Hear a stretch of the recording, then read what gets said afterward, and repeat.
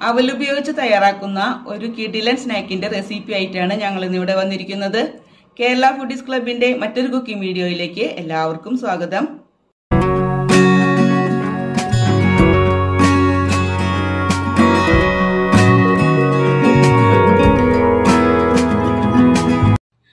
ആദ്യമായിട്ട് നമുക്ക് ഒരു ബൗളിലേക്ക് രണ്ട് ചെറിയ സവാള അതുപോലെ പൊടിയായി അരിഞ്ഞത് ഇട്ട് കൊടുക്കാം.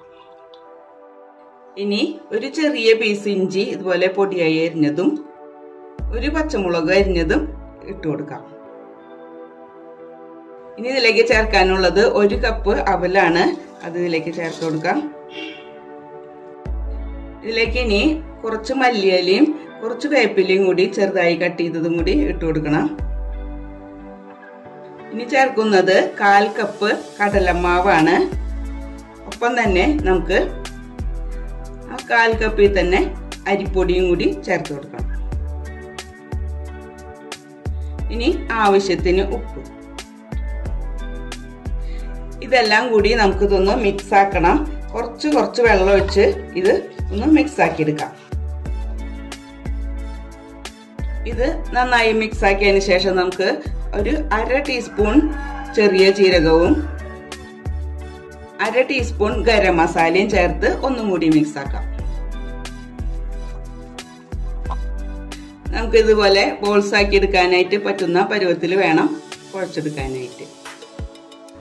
നമുക്കിത് ഫ്രൈ ചെയ്തെടുക്കാം. ഇതുപോലെ ചെറിയ ബോളുകളാക്കി എടുത്ത് ഓയിലിൽ ചൂടാവുമ്പോൾ ഓരോന്ന് ഓരോന്നായിട്ട് ഇട്ട് കൊടുക്കാം. തീ നമുക്കൊരു മീഡിയം ഫ്ലെയിമിലേക്ക് ആക്കിയിട്ട് വേണം ഈ ബോളുകൾ ഇട്ട് കൊടുക്കാനായിട്ട്.